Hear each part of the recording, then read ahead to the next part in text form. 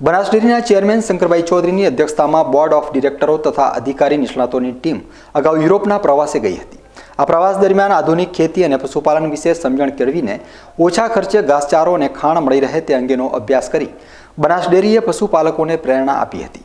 જેથી વડગામ તાલુકાના વરસોડા ગામના શિક્ષિત ખેડૂત બાલજીભાઈ પટેલે ઓછા ખર્ચે વધુ ઘાસ ઉત્પાદન કરવા માટે હાઇડ્રોપોનિક ચારો ઉત્પાદન કરવાનો પ્લાન્ટ તૈયાર કર્યો છે.